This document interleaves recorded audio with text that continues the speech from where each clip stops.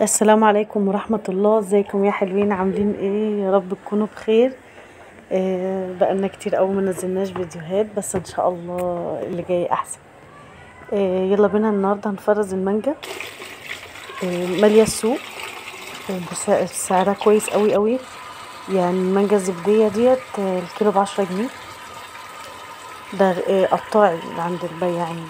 لو هتجيبيه جملة أكيد هيبقى أرخص من كده. أنا غسلتها كويس جدا. وبعدين حطيتها تصفى ما تقلقش السمار ده ده لون في الجلد بتاع نضيفة ما تقلقيش مش متوسخة يعني. تمام؟ أنا غسلتها ليه؟ أنا غسلتها عشان لما أجي أجي أقشرها دلوقتي وأنا ماسكاها ما إيدي ما تتوسخش من الجلد وأنا هرجع أمسك المانجاية اللحم بتاعها بإيدي تاني. فضروري إن إحنا نغسلها عشان إيه؟ نضمن النظافة يعني. تمام؟ جبتها كده وبقشرها بالقشارة. ما عندكيش أو مستصعبة القشاره بالسكينة مفيش أي مشكلة خالص المهم إن أنت تقشريها.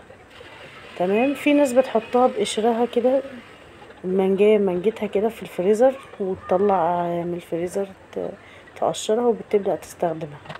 بس خلينا متفقين أي مانجا للتفريز هي المانجا الزبدية بس. تمام؟ هنقشرها كلها كويس قوي قوي قوي كده زي ما أنتوا شايفين. تمام؟ حابة بقى تقطعيها مكعبات عشان مثلا لو هتعملي كنافة بالمانجا ولا حاجة okay. عايزة تش- تقطعيها شرايح ماشي. عايزة ت- تقطعيها كده قطع صغيرة أو اللي هي مستوية زي ما أنت شايفة كده للعصير okay. في ناس آه، بتحبها كده يعني. تمام. أنا بقى بدأت أخد اللي هي مستوية شوية ني طرية شوية كده.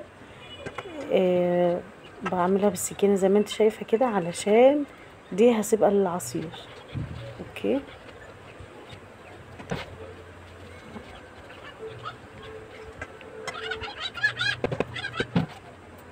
هبدأ بقى اللي هي الشرايح دي اللي ماسكة نفسها شوية أقطعها مكعبات وأحطها في جنب. طبعا هاخد منها برضو المستوي وأحطه في الطبق ده اللي هو يتعمل عصير. أما اللي هقطعها مكعبات ديت مثلا كنافة بالمانجا أو لو إحنا نعمل تورتاية أو حاجة ونحط في في النص كده مكعبات مانجا بتبقى شكلها حلو قوي وبرضه هسيب معاكم شوية متقشرين ال- الواحدة بوحدتها كده في كيس. برضه عشان لو حبينا برضه إيه نقطعها شرايح كده ولا حاجة برضه على على تورتة على وش برضه كنافة على أي حاجة انت عايزاها على جاتو أي حاجة يعني. أوكي هنزين بيها برضه إيه ما فيهاش مشكلة خالص. تمام؟ أنا قطعت بقى كمية م- مناسبة كده من اللي هي المكعبات. خلصتها خلاص ودي بقى ال- اللي هي إيه مستوية. دي بقيت ال- الحباية. أنا كنت باخد بقطع من قدام ومن ورا ومن فوق ومن تحت. فاهميني؟ يعني بقطع من أربع الجوانب بتاعة ال- البذرة. بيتبقى طبعا في البذرة شوية مانجا. أنا بشيلها كده بالسكينة. علشان يبقى ده الخليط ده موجود معايا. عايزة تحطيه كده فرزيه okay. عايزة تحطي له سكر ومية وتضربيه في الخلاط وتعينيه okay. أو ممكن تحطي مية بسكر وما تضربيش في الخلاط. براحتك يعني. بس هي دي طريقتي.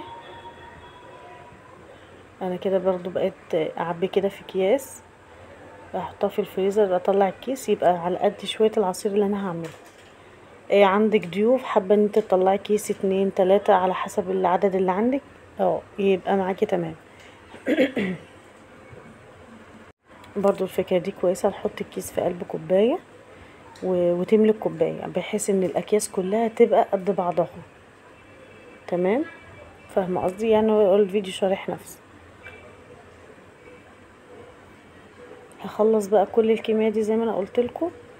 أهم حاجة أهم حاجة تكون مانجا آه، زبدية. الزبدية هي اللي بتتفرز. هتتفرز معاكي لا هتغير لون ولا هتغير ريحة ولا طعم ولا أي حاجة إن شاء الله. تمام؟ ده اللي هو اللي قلت لكم ديت آه، المكعبات أهي واللي وراها ديت اللي هي هتتعمل عصير. وزي ما قلت لكم أنا حطيت كده وحدات كده لوحدهم عشان نبقى نطلع منهم شرايح. برضو حلوة قوي قوي ممتازة الفكرة دي. جربيها وإن شاء الله هت- هتعجبك قدام.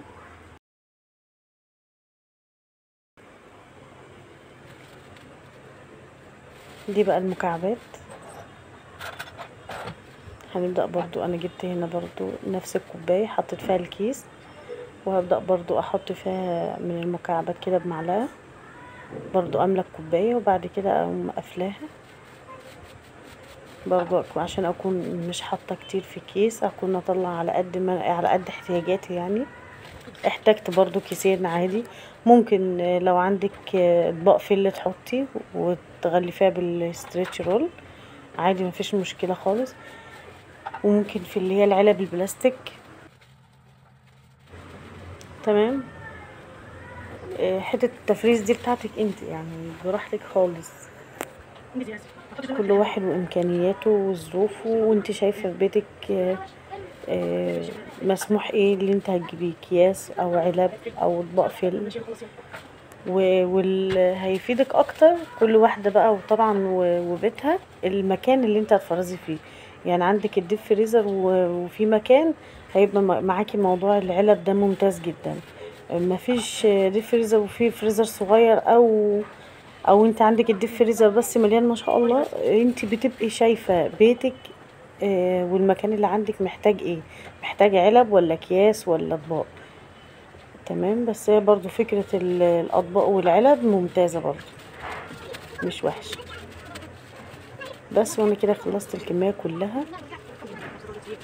الحقوا بقى خزنوها اليومين دول سعرها حلوة قوي قوي وده كان فيديو النهارده يا بنات يا رب يكون عجبكم. لو عجبكم ما تنسوش تضغطوا like و share كتير كتير. أهم حاجة subscribe للقناة وفعلوا زر الجرس والسلام عليكم.